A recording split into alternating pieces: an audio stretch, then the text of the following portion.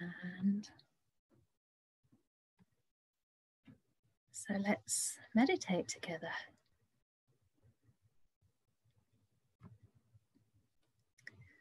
So, as I always say at the beginning, it doesn't really matter how you're sitting as long as you're sitting in a comfortable posture. That is the best posture for you.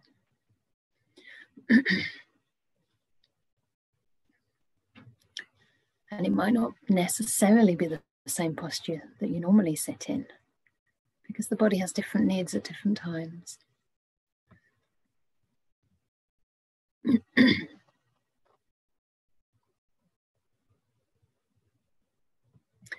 So I thought I'd start the meditation in the usual way by coming in contact with our body, our inner world, and then gradually possibly lead you or invite you to pick up the breath if the breath seems to want to be picked up by you.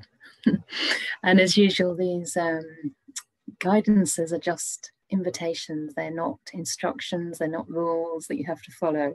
So if something else is unfolding or something else needs attention and uh, wants to be in the center of your mind, then please go with that because meditation should be responsive and intuitive to whatever's arising in here and now.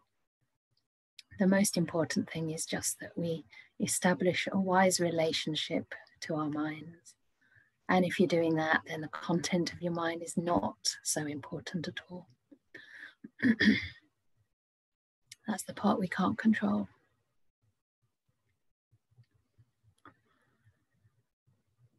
So, just settling into your body, into the space, and gently closing your eyes. Maybe there are still some impressions of being in this group. The people's faces that you've just been seeing on the computer screen. And hopefully, some sense of connection, support, shared intentions to come into this present with kindness, care, and a sense of allowing things just to be, making peace, not war, with our body and our mind.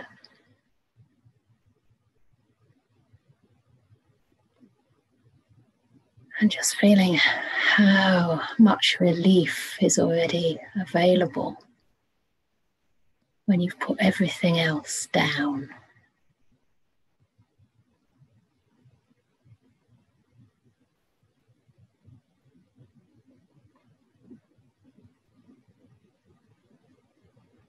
For most of us, it's already the evening. It's grown dark. For some of us, this might just be a pause in the middle of the day.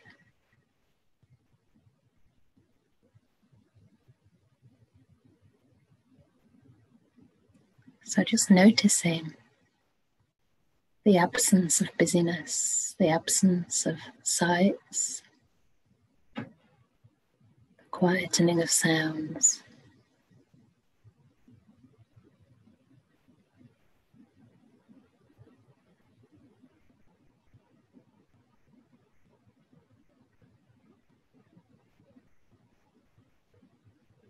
And appreciating that emptiness.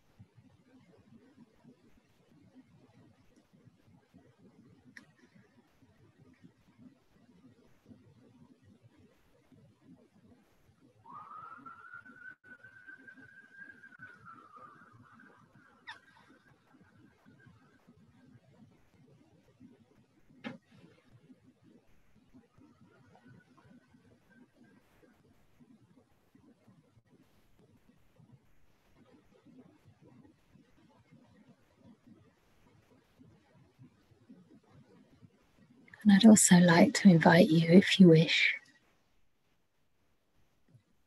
to reflect on a beautiful quality, perhaps that you can already recognize in your own heart, but that you'd like to develop, to cultivate, bring forth. And align your actions of body and speech more and more closely to as this new year unfolds.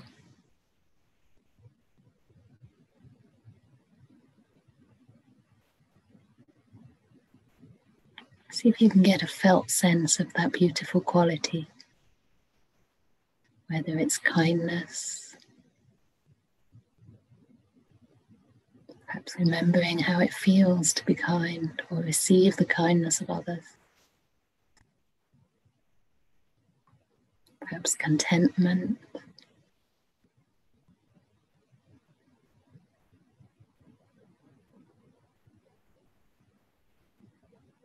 Maybe patience or trust.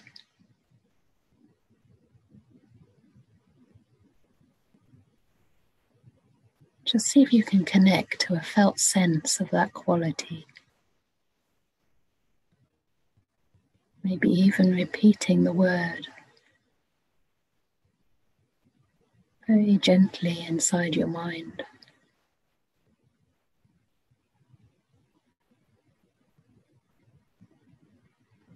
And just sensing in to where that word inclines the mind.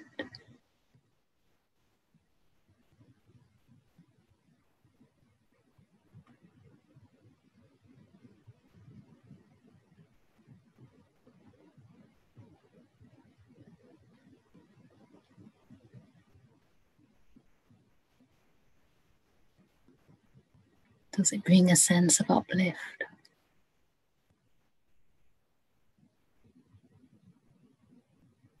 Maybe courage or strength.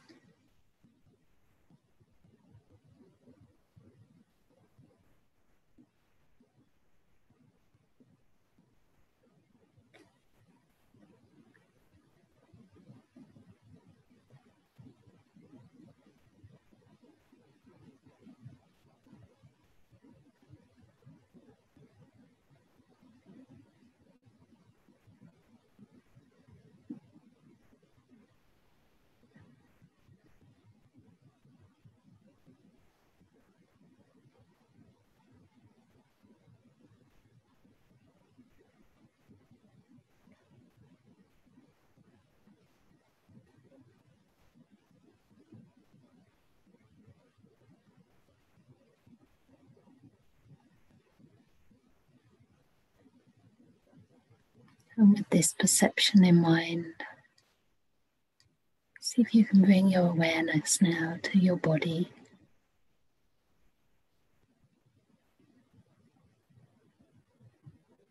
Today, let's start at the tips of the toes. Part that's furthest away from the thinking brain.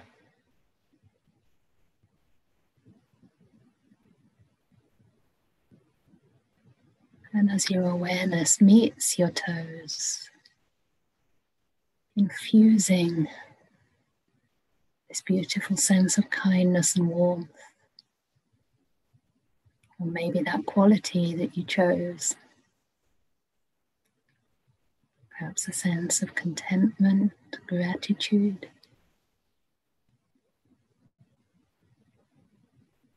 Even trust.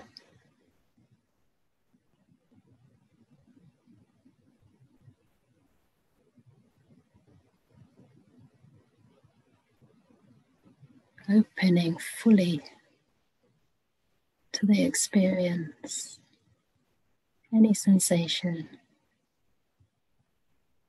or just a general sense of your toes.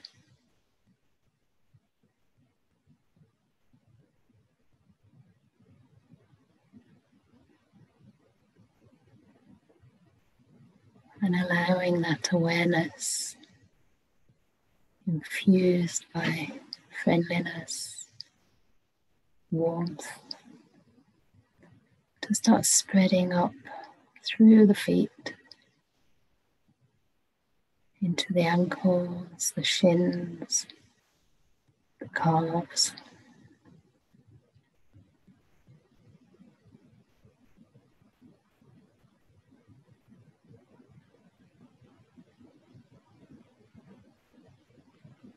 Nothing to do in this moment but to be aware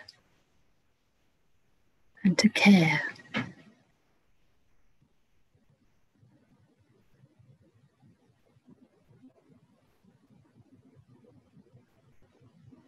Allowing the sensations to open up and to invite you more fully into the experience of this present moment.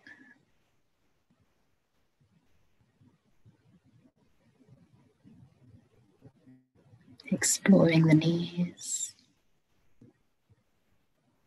receiving any sensations in the knees with the same open hearted curiosity and care.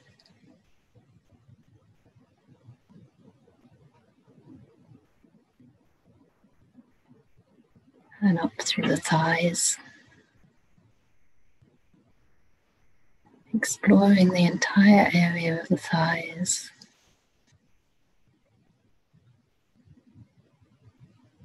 As though shining light in every little part, the folds behind the knees, the entire skin area Maybe you'll experience sensations deep inside.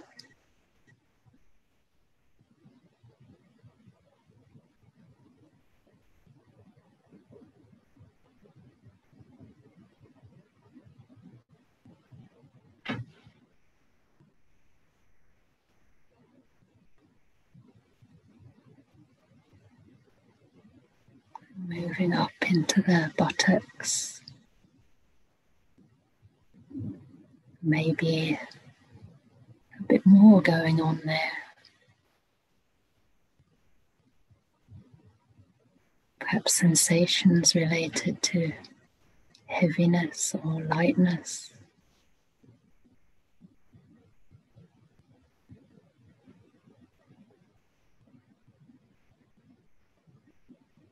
The field of temperature. Maybe tingling or throbbing, aching. See if you can welcome all of those experiences with equal attention, equal care.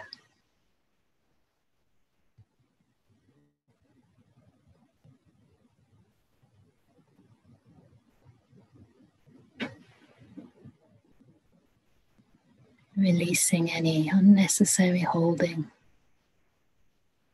giving your buttocks permission to fully relax.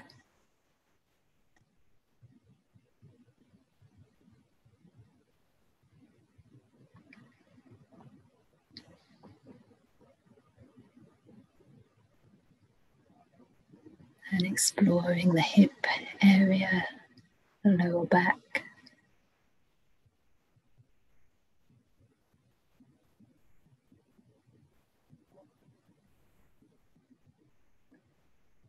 And part by part, spreading this kind of awareness up the entire back.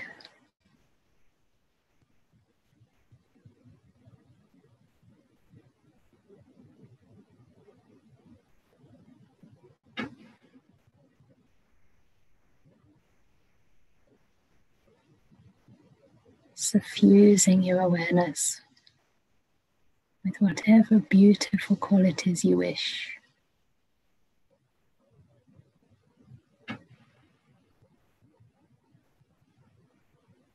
Qualities that help you open up with appreciation for this present moment.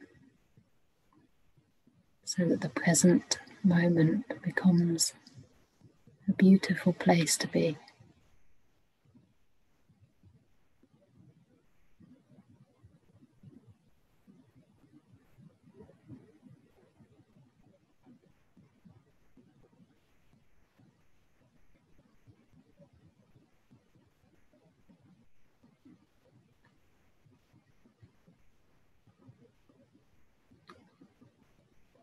moving outwards to the sides of the body, coming round to the front of the trunk, the abdomen area.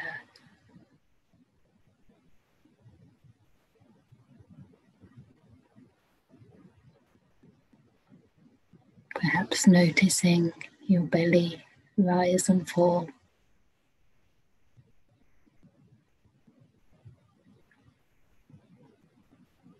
Softening into the sensations.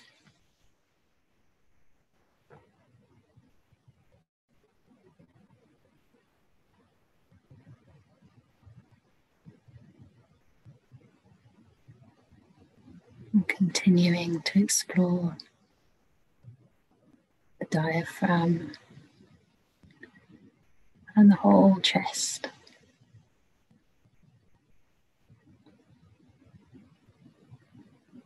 Sending kind awareness inside to the organs.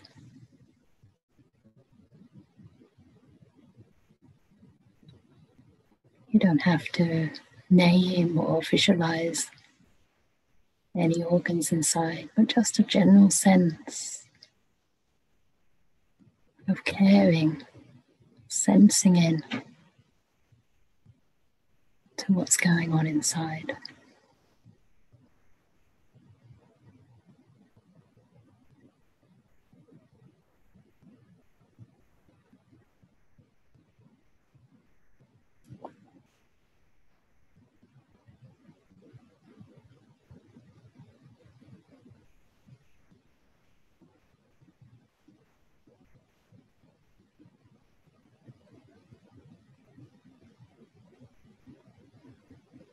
You may choose to linger over any areas of more intense sensation.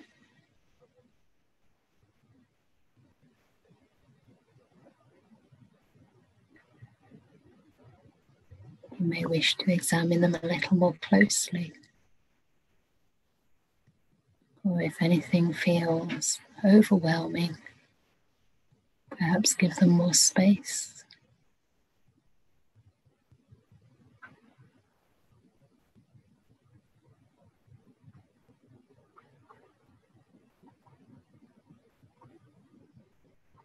Always aligning your intentions the way that you're aware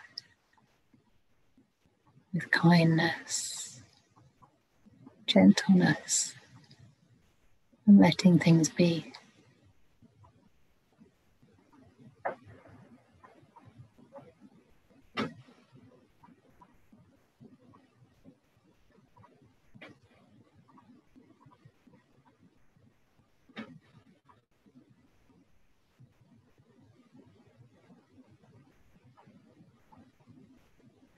Giving your shoulders some attention and care.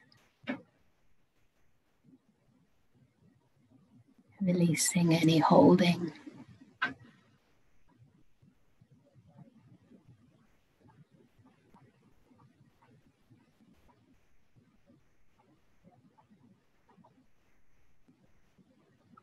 Inviting them to relax.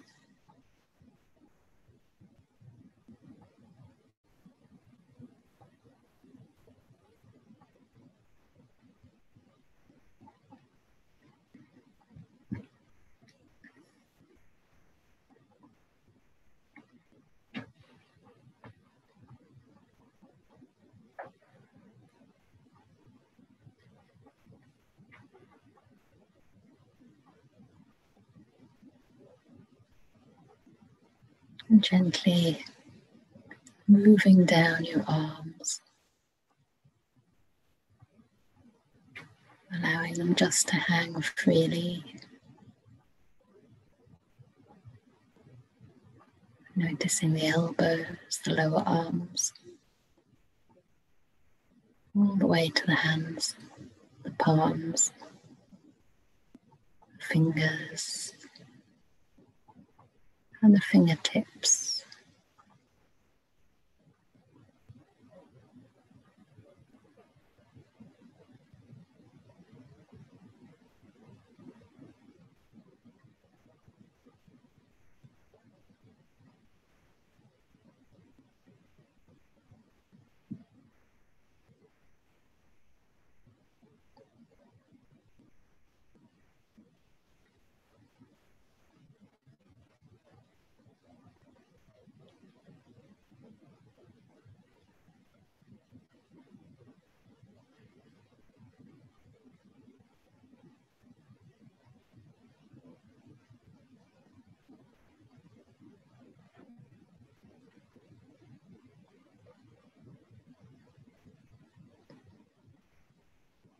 Also opening to any pleasant sensation,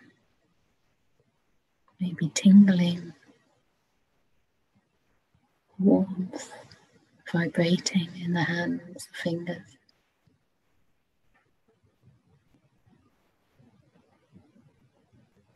Just allowing it to be.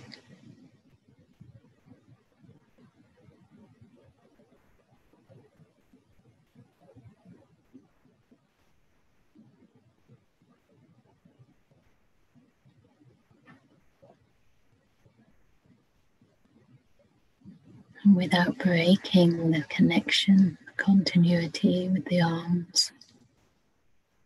Moving back up again to the shoulder area. Checking if anything there has changed.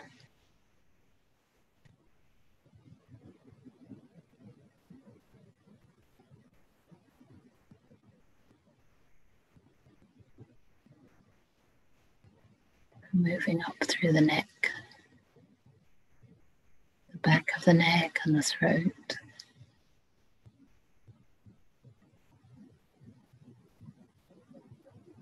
Into the jaw. Noticing any tightness that you don't really need in the jaw. Maybe relaxing it just a little.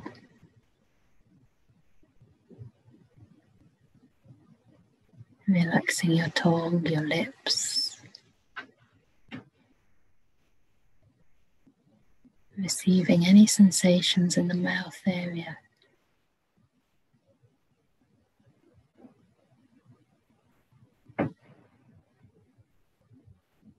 Suffusing those sensations with kindness and care.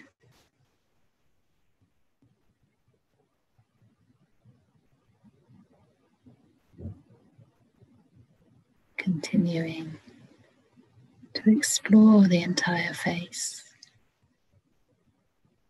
the cheeks, the temples, the eyes.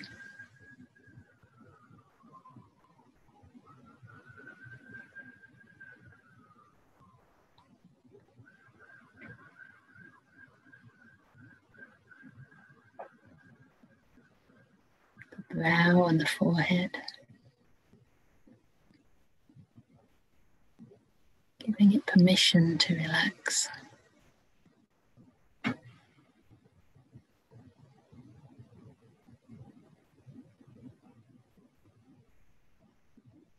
As though all that tension and tightness were just draining down towards the ground.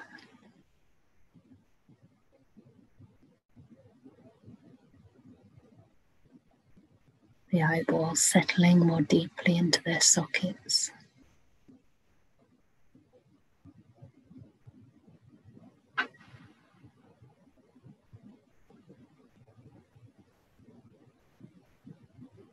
And even the brain, and all this activity, the connections, the circuits in the brain, just temporarily going quiet.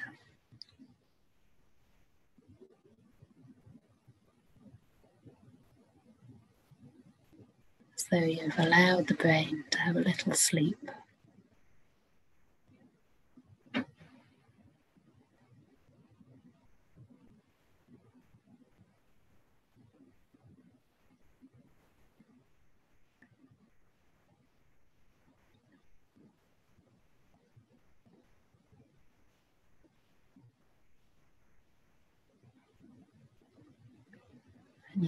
Continue to spread your awareness across the whole top of the head,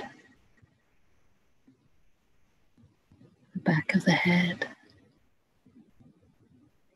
the ears, the whole skull.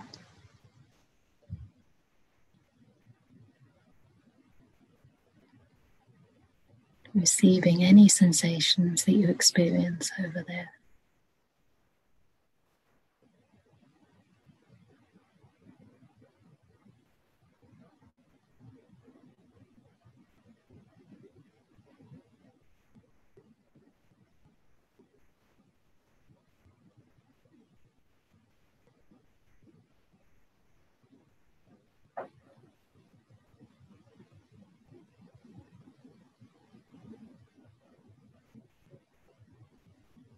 And from here, you may wish to just allow your awareness to once again expand. This time down from the head to encompass the whole body.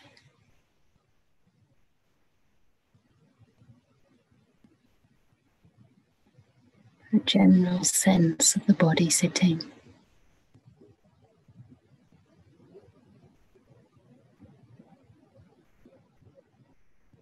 Maybe you can feel the shape, the energetic field of the body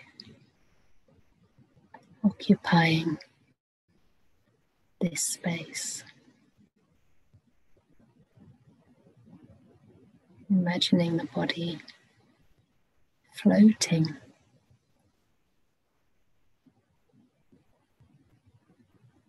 So light.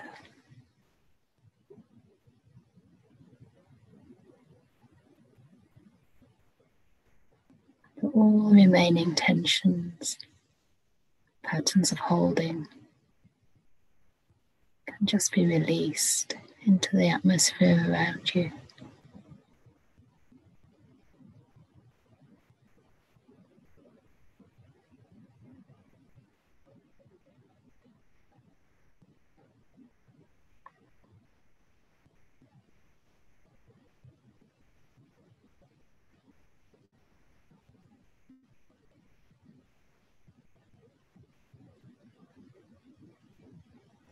See how relaxed it's possible for your body to be.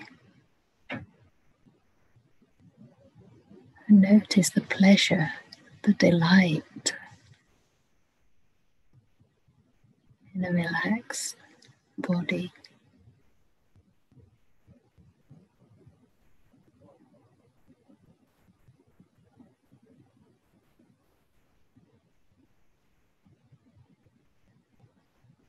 And a broad and spacious mind.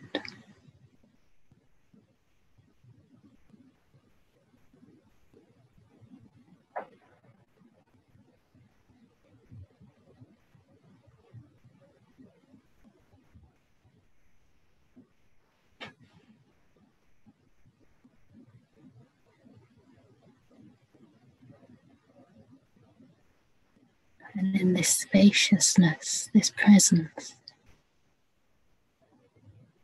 the mind might be subtle enough to notice the breath.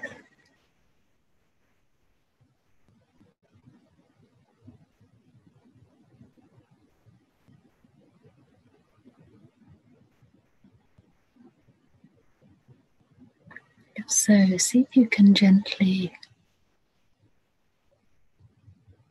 go along with the breath without holding it just floating along as though the breath were a gentle wave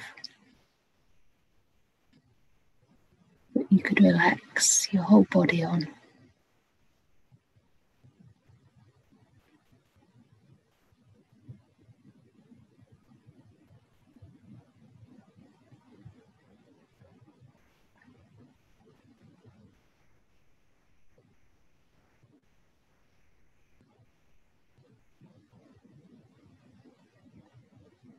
Keeping the mind soft and receptive,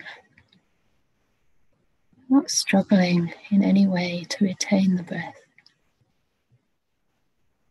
but just see if that breath helps you become more present and at peace.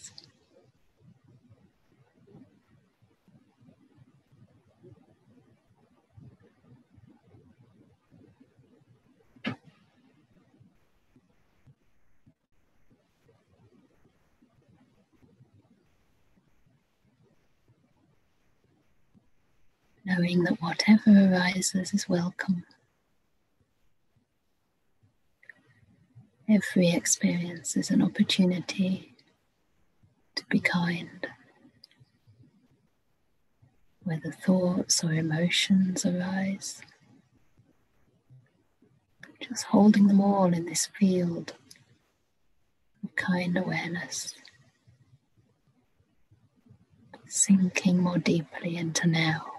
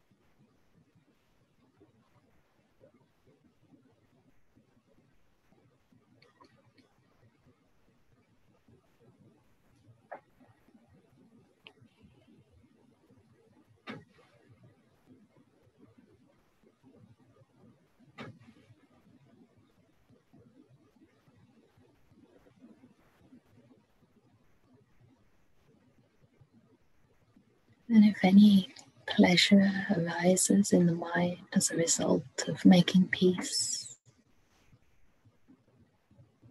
however subtle it may be, maybe just a quiet joy, a sense of simplicity or contentment. Allow the mind to notice that, to pick it up.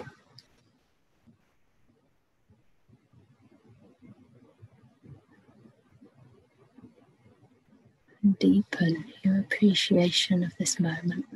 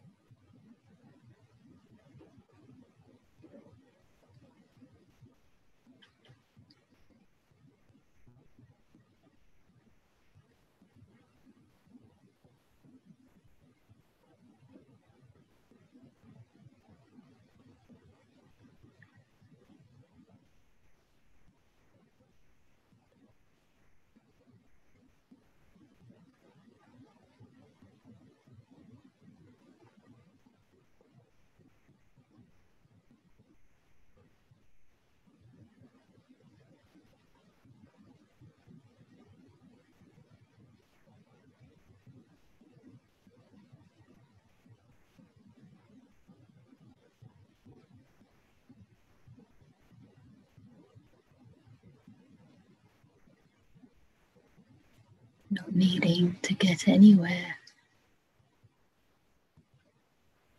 Just satisfied with this moment, with this part of this breath.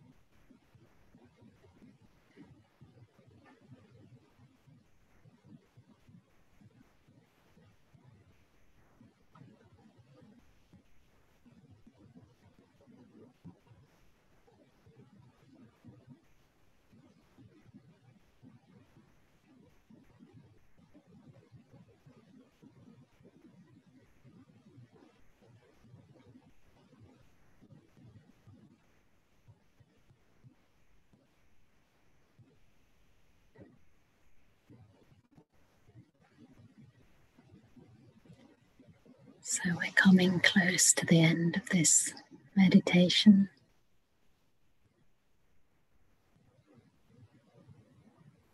Staying embodied.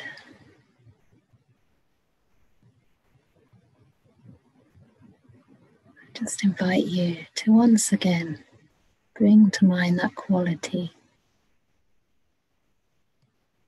that virtue that you thought about connected with in the beginning of this meditation.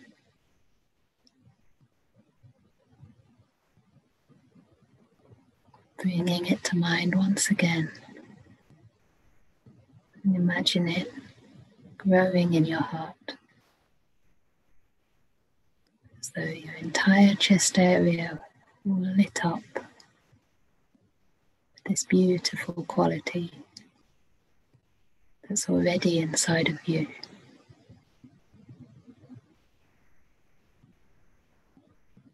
Imagining that radiating outwards.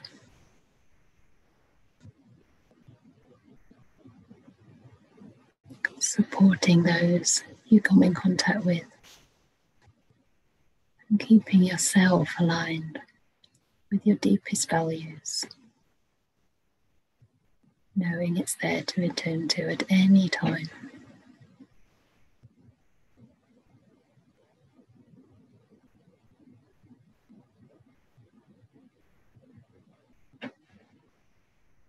So just kindly thanking yourself for this moment of peace that you offered, not just to yourself, but to all of us. Smiling within. And as you gently open your eyes, smiling without, so we can all see each other's contented, happy faces.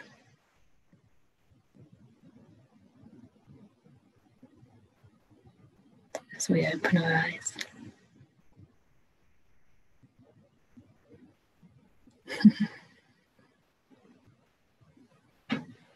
Don't force it, but even a small smile can affect the mind. Very nice. Mm. I hope that was nourishing. Uh, not too long, not too short. Well, I shouldn't hope that it wasn't too short. I should hope that it was too short for you and that you've progressed now and we should do hour long sits in future. we could. You're always free to uh, write suggestions, you know, these are all possibilities. so, as I told people in the beginning, I've been quite busy recently with my teaching schedule. So I couldn't actually think of a particular theme for the evening. My mind was just, please don't make me think. So I decided to use this as a um, opportunity to dig a bit deeper into anything you'd like to um, share or ask about, comment about, or explore together. And I also invited a few um, questions from anyone on Facebook, and actually, not many people had questions, but a couple of themes came in, which are, I mean, they could be entire talks in and of themselves, but it's good for me to have those in my pocket just in case you're all so still and silent now that you can't actually speak. But uh, I doubt that's the case. so as I said in the beginning, um, the recording will continue, but it will be fixed on my uh, screen so that if you would like to ask the question in person, we can unmute you and your voice will be in the recording, but not your face. Um, if that feels uncomfortable, you're welcome to put um, questions in the chat box but it's always lovely for people to hear a voice other than my own and just to realize you know that so many of us have similar questions and uh, yeah our voices are very relatable to others i think so i would suggest keeping the questions or the comments you know fairly i mean they don't have to be super brief but you know not a kind of whole dialogue um, or monologue um, just so that we can fit as many people in as, as is possible. Even the cat. I see a very cute little pussy cat with Leah. That's very nice. So the way this will work is that if you have a question and you'd like to ask it out loud, you can go to the participants button and in there there's a hand or there's a symbol that says raise hand. And then my co-host, I think Derek, has very kindly offered to or maybe agreed is a more honest word, uh, to unmute you. And, and before doing that, he'll mention your name so that you know who you are. Um, and then we'll take your question, okay? So I'll give you a couple of moments. And if no one has an instant question, I'll start with what I have.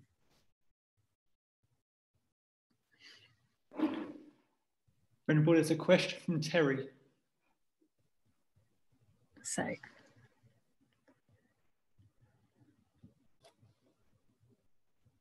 You'll need to unmute yourself, Terry.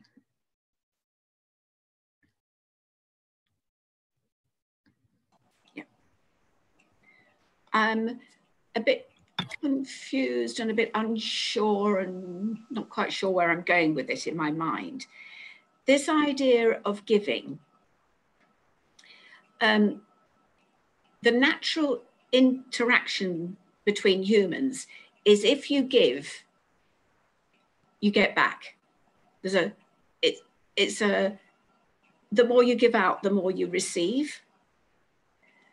So where do where does Buddhism or where does Buddhist teaching go with the idea that you're not looking for a return for your giving? If you could explore that a bit. Yeah, sure. I think it's really true that whenever we give, we receive. But I think from the Buddha's perspective, he's not so much interested in material uh, reciprocity. He's more pointing towards the fact that every time our motivations come from um, non greed, which is basically the opposite of generosity, it's another word for, sorry, it is generosity, but put in the negative way.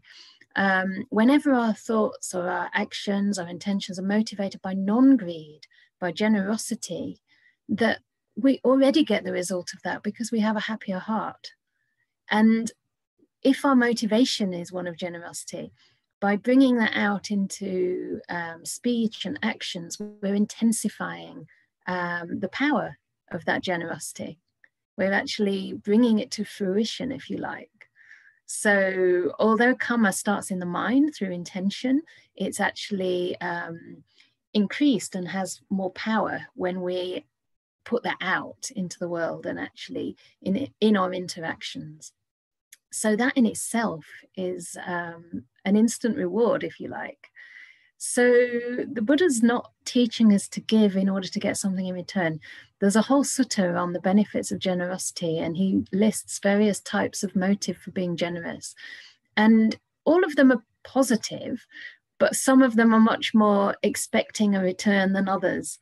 And so they start with things like, I'm giving because uh, if I give, then I'll be popular or people will like me or I'll gain material um, wealth. And then I'm giving because it's what I should do. I'm giving because, you know, in our family or in our tradition, we're told to give. Yeah. So there, there's a little bit of, um, well, there's not actually that much understanding. It's more they're doing it based on a belief than on their own kind of understanding as to why. So perhaps they haven't quite understood the benefit as a direct experience at this stage. And then there's the giving that gives because um, one will go to a higher birth next time, or even that one will be happy in this life. Um, but the Buddha said that the highest of all those givings is giving for the sake of beautifying the mind. And I think this is really wonderful because the more we practice in Buddhism, the more we realize that by purifying our mind, we're actually creating the causes for more happiness for ourselves and others at the root level. Yeah. Because you can also give feeling kind of like, I gave to you, you should give back to me, or I'm giving to you because I want you to change your behavior. And that's not as pure. That doesn't actually purify our mind. So when we do it just for the wish to um, yeah, prepare the foundation for our practice to equip the mind with wisdom, with serenity, with happiness, then that is the highest kind of giving. And that's something that can be directly felt. So I hope that explores it a little bit. It's a big topic, but there's so many ways we can give. And I think it starts off in the path by virtue, you know, by um, by actually abstaining from giving out our negativity in the world right? From abstaining from harming others. So we start by giving the gift of harmlessness, the gift of trust. And this is already a very beautiful gift which benefits ourselves and everyone around us. So I think we're looking more at spiritual benefits than material benefits with um, generosity and giving. But of course, as wisdom develops as well, we might also see where it's most profitable to give. For example, you know, you might feel like um, the more you know about a particular social cause the more you feel that that is a good place to give because it's going to have good results whereas another place might you know maybe not use the money properly or it might not lead to the long-term well-being and, and um, and happiness and health of another person so we also have to use our discernment a bit as well but um, yeah the buddha also said last point about generosity that um, we should bring it up in our mind so that when we're thinking about giving, we feel joy. When we're actually giving, we feel joy. And after we've given, we feel joy. So we rouse the, we kind of align our mind with the beautiful intention of giving and notice the effect that that has, because that's like an encouragement for us to, to know um, more and more about right intention and, and right action what generosity really means. Okay, I see there's some more hands. Okay, next question from Nilanti.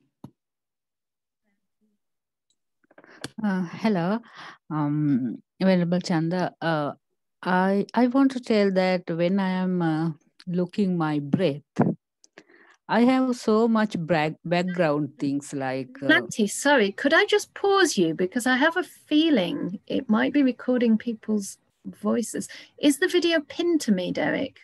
Is it pinned to me or is it just on speaker view? It's pinned to me. Okay. All right. I'm just being overcautious. Sorry to interrupt you. Please continue.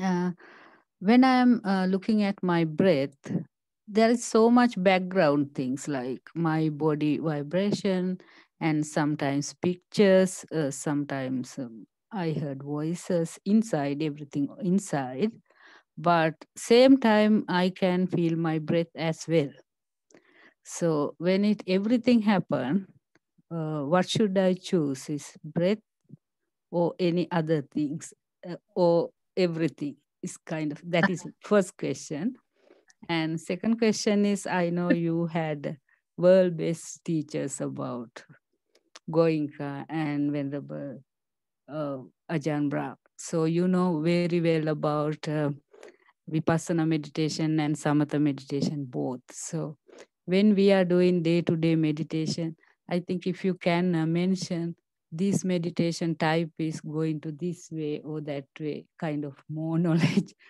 to I know. think But this- yeah. yeah, yeah, great. I think this might be a whole Dhamma talk. Maybe I could do a talk on on on that at some point. Um, but to go to your first question, I guess it's related to your second one in the sense that perhaps it would depend a little bit on the type of meditation that you're choosing in that session. And I think sometimes it can be helpful to make a decision um, more or less at the beginning of the sit as to whether you're going to practice with more like an open awareness, like a bare awareness, when where everything that arises is equally as welcome and um, the mind can remain quite open and receptive to it all. So you're actually not choosing to sort of hone in on the breath necessarily. You're just observing things coming in, arising, and passing. Um, and in that kind of meditation, it can be helpful if um, you are aware of the arising and passing nature, then it can turn more into like a vipassana kind of practice.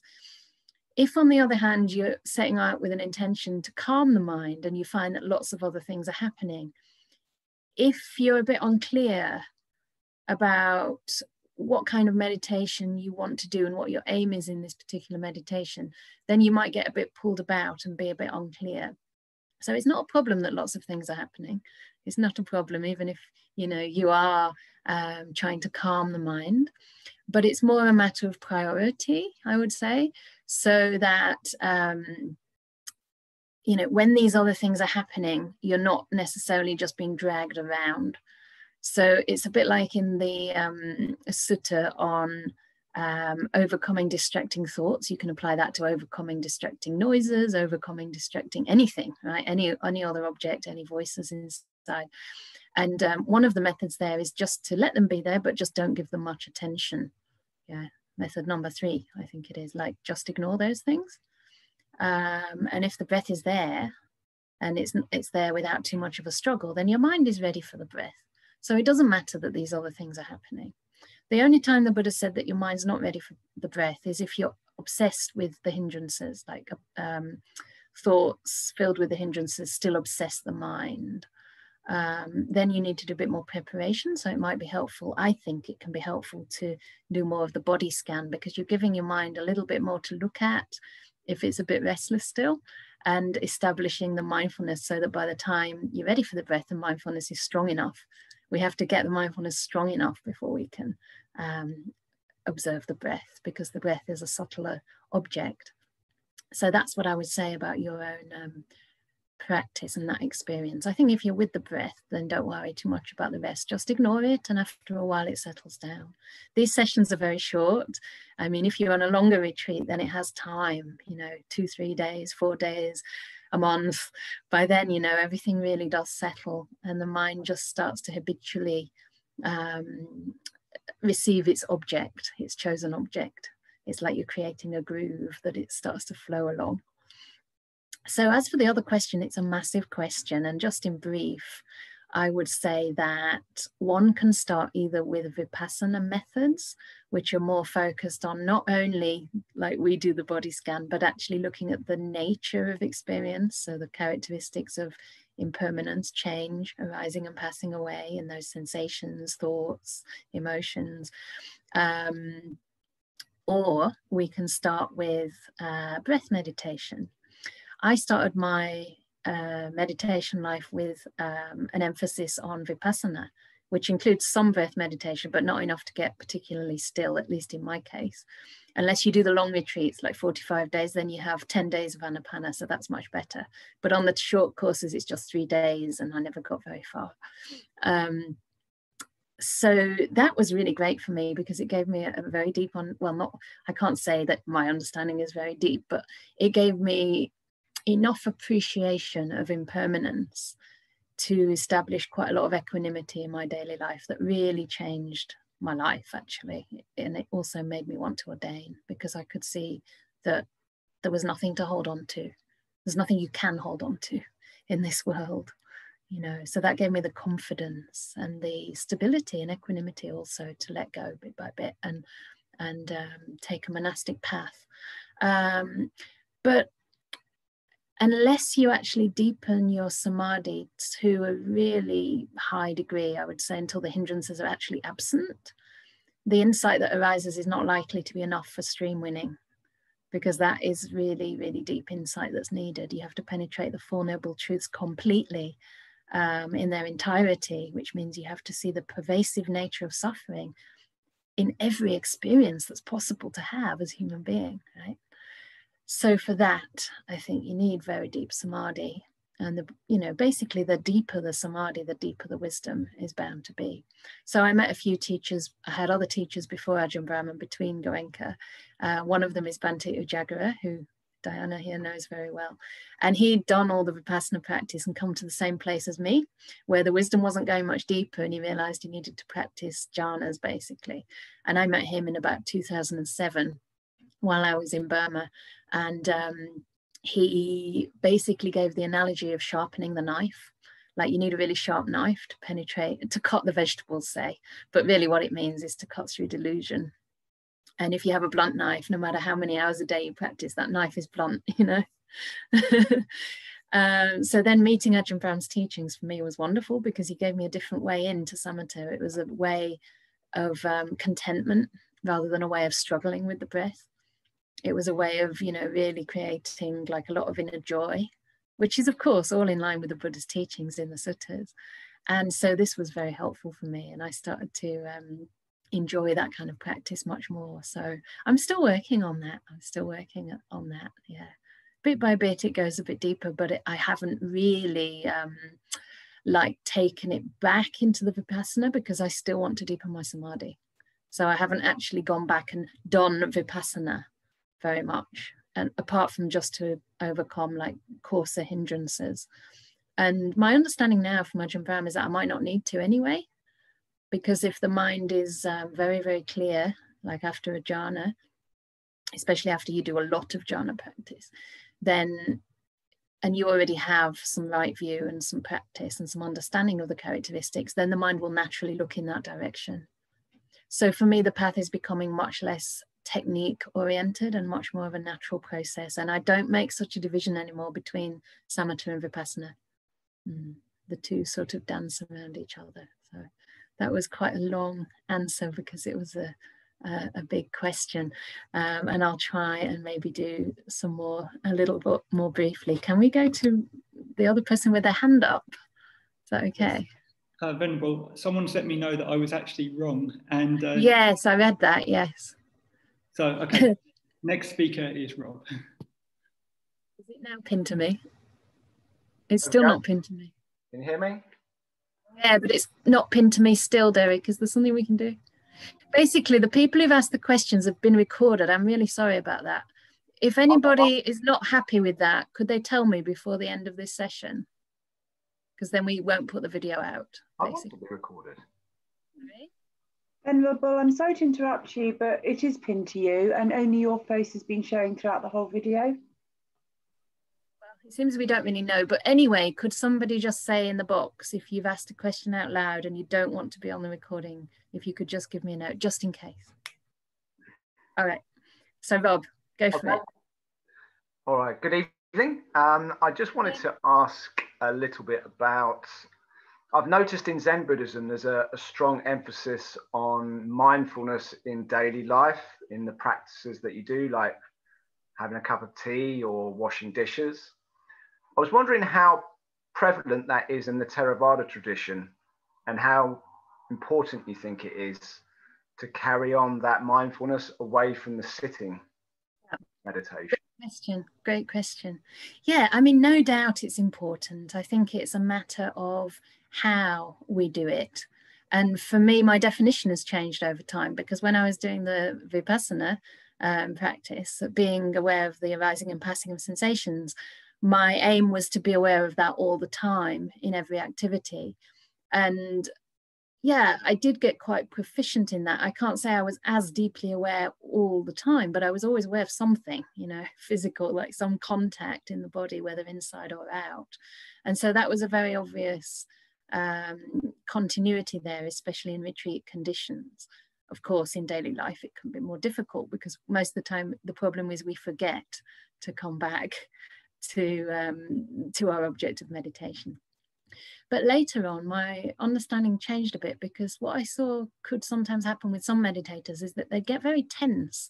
And it's almost like if they were doing Anapana, for example, and then they had to have a conversation with you, this is in retreat setting in a monastery, they would almost be like resenting that conversation because it was taken away from the breath. And sometimes you'd talk to someone and you, you'd know that they weren't really listening because they were trying to be with their breath and they were just trying to kind of get away from you. And I just started to think that can't be right, you know, because surely we should, you know, relate to each other, relate to everything that arises in our life with an open heart and with, you know, a kind of unconditional type of awareness. So when I came in contact more with the Sutta teachings and also with Ajahn Brahm, he emphasized that whatever you're doing, give it everything you've got. So if you're talking, talking is your object of awareness. You're really in the present moment with now I am, now I'm saying it, the way the lips are moving and the tone of the voice and, you know, just the act of talking and the purpose of what you're doing, why you're doing it, in this case, to convey um, an understanding of the Dhamma. Um, and yeah, likewise, if you're sort of washing the dishes, you make washing the dishes the most important thing. So you're not only aware of sensations, you're also aware of why you're washing the dishes, and then you do it with a lot of, um, um, yeah. I mean, you can't do it with that much wisdom, but you know why you're doing it. You know you don't want to like leave it too long so that they're really difficult to wash up, right? So you're doing it in a way out of care for your environment, out of care for yourself. And I, I have that reflection nowadays when I do the dishes. I sort of think, yeah, this is like looking after things to keep my life simple and to keep it looking, you know, looking neat. And that has an effect on my mind. So there's different ways we can be aware in everyday life. I don't think we have to over effort. If we're at the point where we actually can't do that, it's okay. We just have to remember as often as and say, oh, you know, can just pause here, take a breath, or become aware of what I'm doing and why. Um, otherwise, too much tension can come into the practice. Um, but this is where a balance between your sitting practice and your daily life practice is really good. If you have an established practice, say, I mean, I, I started with two hours a day because that was what Goenkaji told us was the bare minimum. And so I'm very lucky since 96, I've always had that, you know, and it changes your life completely because then the awareness flows over quite naturally into the other things that you do. But yeah, sometimes you're observing more of a restless mind or more of an agitated mind, and that's fine too. So, certainly, I mean, we want to become aware in everything, in every activity, so that we are protecting our mind um, by making sure that we're not um, following greed, hate, and delusion. And we're trying to align our actions of body and speech in particular with the opposites, with the uh, generosity, the loving kindness, and the wisdom part of the mind. So, great.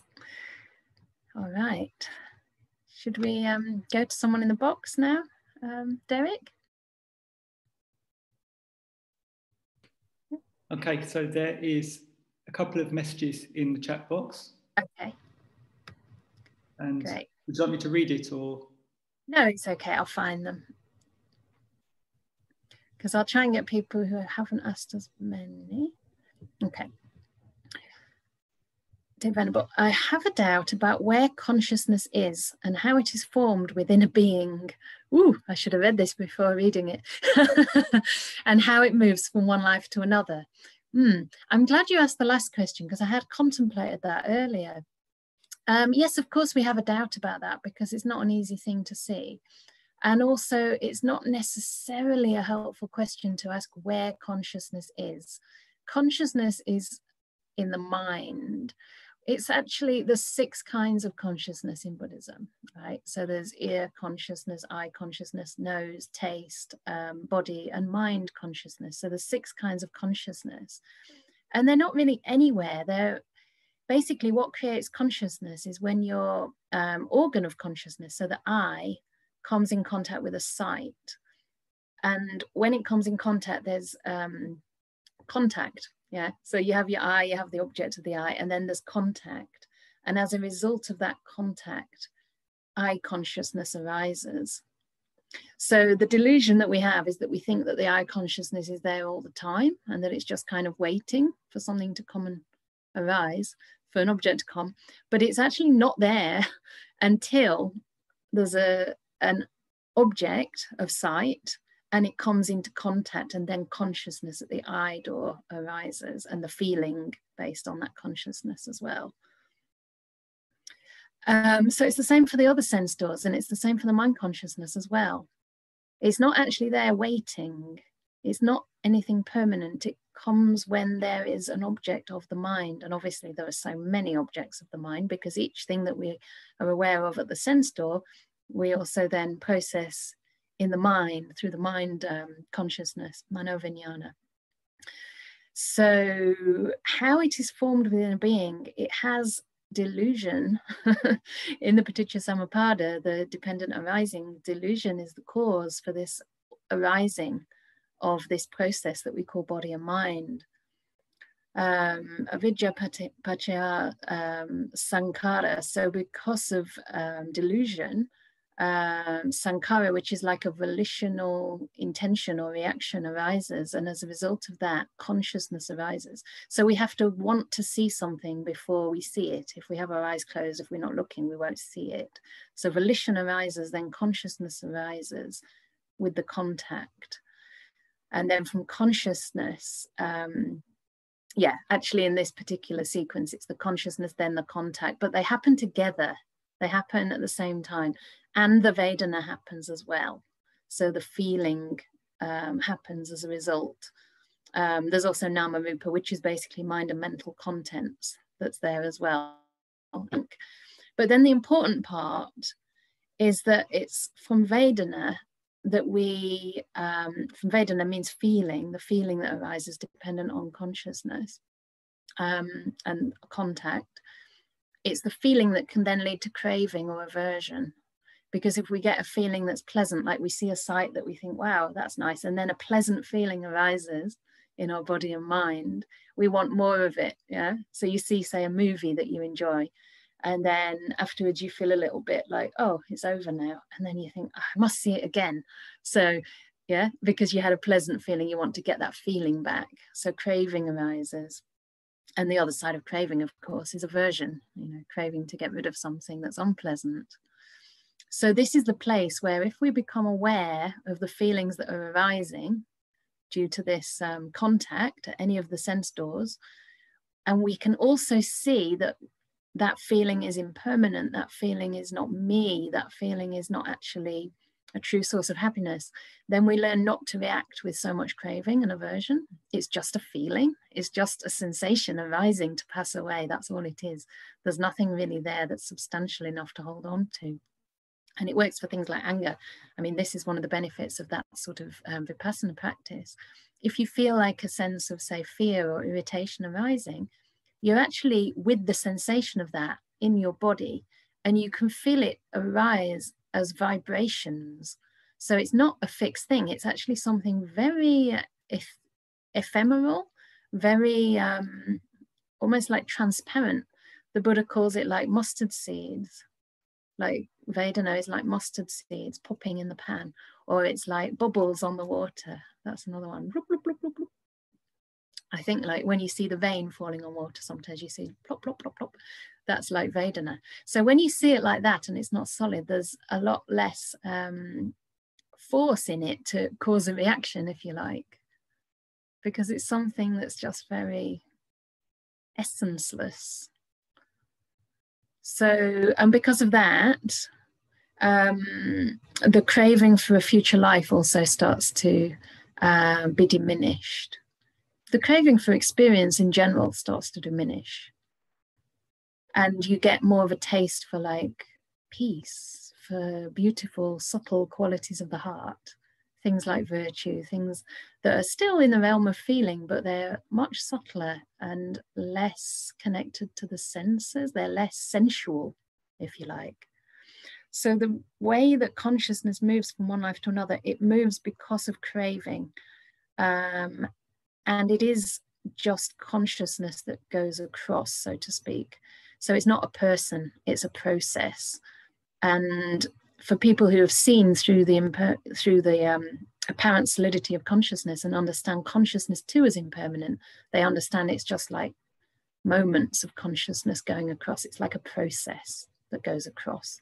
But we tend to um, ascribe a sense of self to that. Yeah. So the Buddha said that it's not that there's nothing because the arising of phenomena is seen, and it's not that there's something because the passing away can be seen. But instead, there's this middle way, which is the dependent origination. So from delusion, uh, arises, volition arises. From volition, consciousness arises. From consciousness, um, contact, I think, then namarupa, then feeling, then um, craving, etc., etc. So it's a process called dependent origination.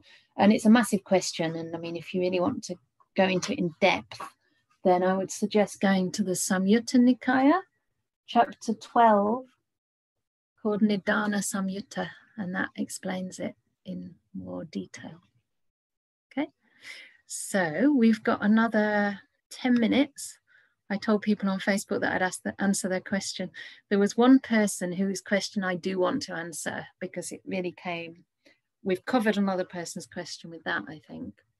But this one came from an important place, and that was that they had trouble staying in the present moment. Why do I find it so difficult to stay in the present moment? What help can you offer, please? So I'll answer that quickly. And I think the main reason it's difficult to stay in the present moment is because of restlessness and craving and our minds are just on kind of high speed because we're so often in the past and in the future. So it becomes really difficult to suddenly stop the mind. And that's completely natural and normal if you've been rushing around in your head all day or very busy with responsibilities. It's completely natural. So that's the first reason that it's hard to stay in the present moment. We're not really familiar with it. We're not really um, accustomed to sort of slowing down our mind but the other reason, if you are a meditator and you've been practicing for a while, can be because we're not content with the present moment. We're looking for something better, for something else. So we're sort of present, but we're sort of present in order to get something later. I'll be present so that, you know, my meditation will improve, or I'll be present because I should, or, you know, just because you know it's a good thing to do, but you're not actually really giving to the moment. So sometimes we come to practice wanting to get results, and actually, we need to start changing our motivation into one of giving to this moment. Like, okay, how can I befriend this present moment? How can I actually be kind to it? And when we learn kind of how to look upon the present moment like something precious, something that's worthy of our care, that's worthy of our time, um, then that present moment starts to feel kind of welcome and accepted. And you start to establish a, a good relationship with the present moment. And as a result of that, you start to be able to stay for longer in that present moment. So, that is one um, suggestion I would have to see if you can befriend the present and um, yeah and uh, and be patient be very very patient and gentle with it as well. Yeah because every moment of present moment awareness you know even if you're running around all day but suddenly you're aware for a moment oh this is my body this is my breath this is what i'm doing and you know i'm doing it for a good reason i'm doing it out of kindness. That's a moment of awareness and those moments will add up and will add up and add up. So don't focus on when you're not present. Just try and appreciate when you are and notice how it feels and see if you can value that a little bit more. Okay. So we've got five minutes before Mel has to go, isn't it, Mel?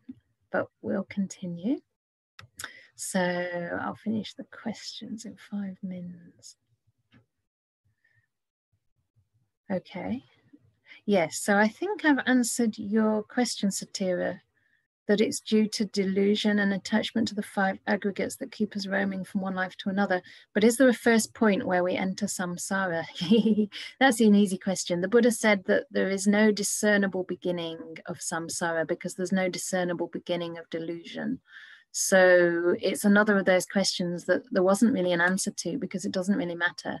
But what he did say, which is very helpful, is that um, although there's no first cause for delusion, delusion, I'm translating ignorance here as delusion because I think it's a better translation. Um, it has nutriments, it has things that feed it. And the things that feed delusion are the five hindrances. Okay, so this is why practicing at the level of sensation to try not to crave is not actually enough because the process has already started.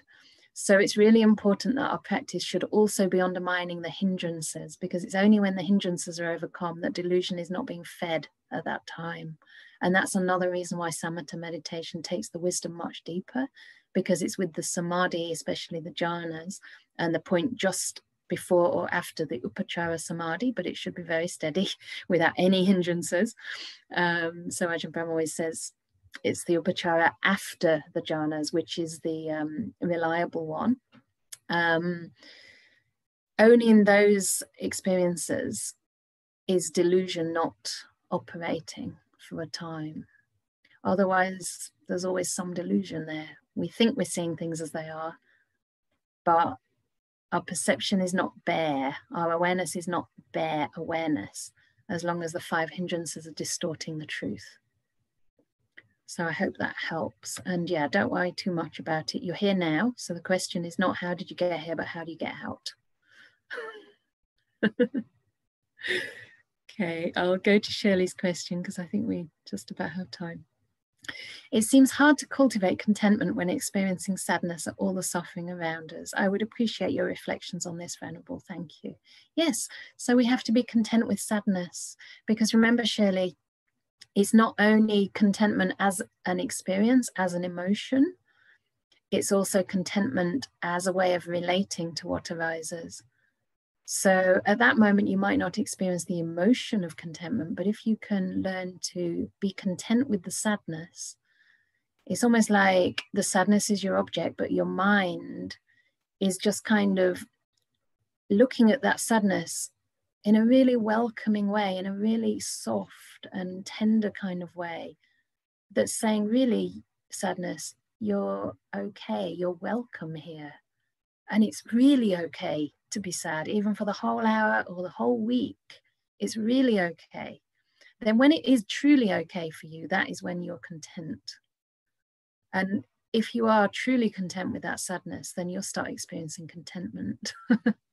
so that's the way through into contentment rather than trying to cir- what do you call it circumvent the sadness to arrive somewhere else. So it's about opening to the sadness. I've been experiencing quite a bit of sadness today, actually, since I heard a talk from Ajahn Brahm yesterday, because it just irritated me. I can say that, can't I? Yeah, it just irritated me because basically the monks were getting credit for something that I'd done. And it's okay, it's not like I'm looking for credit, but the whole patriarchy sometimes just feels to really overvalue male monastics and actually undervalue female monastics. And this was not intentional. It's just that he honestly didn't know. And um, so often, you know, the efforts and the visibility and all that nuns do, and I think women do also in society, is just not really even seen. So I was feeling sad about that. And I'm not saying it's anyone's fault, but you know, sadness is there. Life is not easy. And there's a lot to be said about.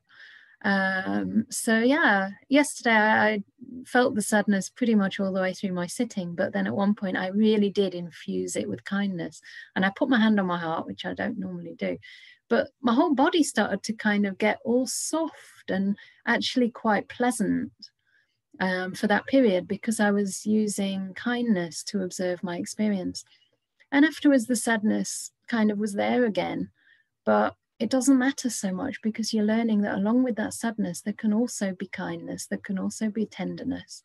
And so you're learning to to open up. Hmm? So I hope that helps.